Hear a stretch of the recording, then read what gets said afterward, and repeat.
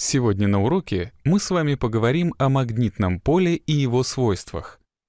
В качестве эпиграфа к нашему уроку возьмем слова Джеймса Клерка Максвелла. Исследования Ампера принадлежат к числу самых блестящих работ, которые проведены когда-либо в науке. Но прежде чем приступить к изучению нового материала, давайте вспомним, что такое магнит и какими свойствами он обладает. Магнитные явления известны людям с глубокой древности. Еще древние греки знали, что существует особый минерал, способный притягивать железные предметы. Это был один из минералов железной руды, который сейчас известен как магнетит. Его залежи находились возле города Магнесии на севере Турции. Слово «магнит» в переводе с греческого означает «камень из Магнесии». Впервые свойства магнитных материалов использовали в Китае — Именно там в III веке до нашей эры был сконструирован первый компас, и только к XII веку он стал известен в Европе. А первой крупной работой, посвященной исследованию магнитных явлений, является книга Вильяма Гильберта о магните, вышедшая в 1600 году. Известны с древних времен явления притяжения разноименных и отталкивания одноименных полюсов магнита напоминают явление взаимодействия разноименных и одноименных электрических зарядов. Мы с вами уже знаем, что между неподвижными электрическими зарядами действуют силы, определяемые законом Кулона. Согласно теории близкодействия, это взаимодействие осуществляется так. Каждый из зарядов создает электрическое поле, которое действует на другой заряд. Однако долгое время оставался неразрешимым вопрос о том, могут ли между электрическими зарядами существовать силы иной природы. Для ответа на этот вопрос давайте рассмотрим опыт, проведенный французским физиком Андре Мари Ампером в 1820 году. Ампер взял два гибких провода и укрепил их вертикально, а затем присоединил нижние концы проводов к полюсам источника тока — при таком подключении с проводниками не обнаруживалось никаких изменений. Проводники заряжались от источника тока, но заряды проводников при разности потенциалов между ними в несколько вольт ничтожно малы. Поэтому кулоновские силы никак не проявляются. Затем Ампер замкнул другие концы проводников небольшой проволочкой, так чтобы в проводниках возникли токи противоположного направления. Оказалось, что при таком подключении проводники начинают отталкиваться друг от друга.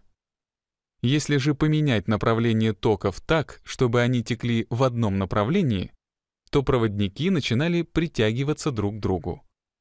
Это взаимодействие не может быть вызвано электростатическим полем по следующим причинам. Во-первых, при размыкании цепи взаимодействие проводников прекращается — хотя заряды на проводниках и их электростатические поля остаются. Во-вторых, одноименные заряды, электроны в проводнике, всегда только отталкиваются. В том же 1820 году Ханс Кристиан Эрстед провел свою серию опытов. Он располагал проводник над магнитной стрелкой или под ней, параллельно ее оси. При пропускании тока по проводнику стрелка начинала отклоняться от своего первоначального положения. При размыкании цепи стрелка возвращалась в свое первоначальное положение. Этот опыт наглядно показывает, что в пространстве, окружающем проводник с током, действуют силы, вызывающие поворот магнитной стрелки, то есть силы, подобные тем, которые действуют на нее вблизи постоянных магнитов.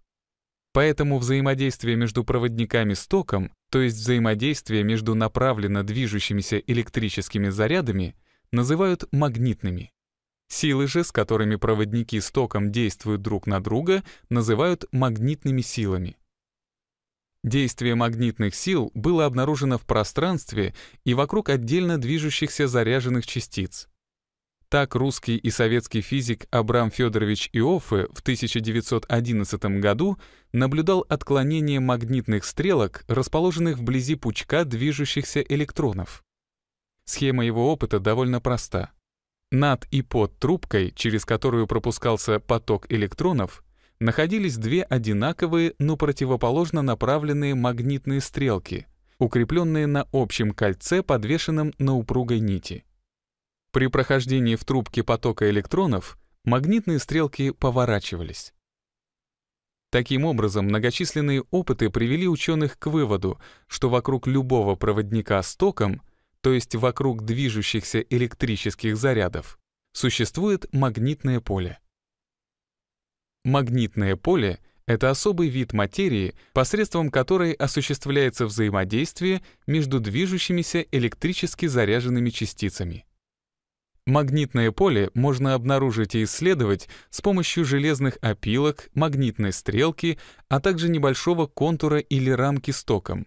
Причем собственное магнитное поле контура должно быть слабым по сравнению с исследуемым.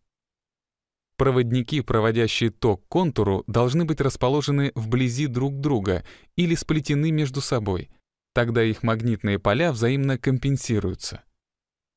Ориентация такого контура характеризуется направлением нормали к контуру. В качестве положительного направления нормали принимается направление, которое связано с током правилом правого винта или правилом буравчика. Если головку винта поворачивать по направлению тока в контуре, то поступательное движение острия винта указывает направление положительной нормали. Опыт показывает, что если мы подвесим такой контур на гибких проводниках в магнитном поле, то он повернется и установится определенным образом. Таким образом, магнитное поле оказывает на контур с током ориентирующее действие. При этом положительная нормаль будет направлена к плоскости контура вдоль продольной оси магнитной стрелки, помещенной в ту же точку магнитного поля.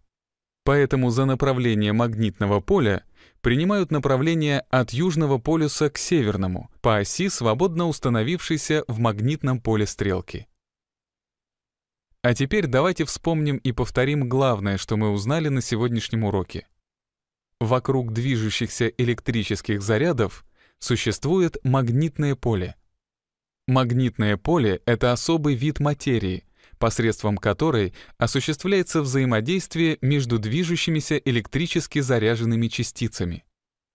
Магнитное поле порождается электрическим током и обнаруживается по действию на электрический ток.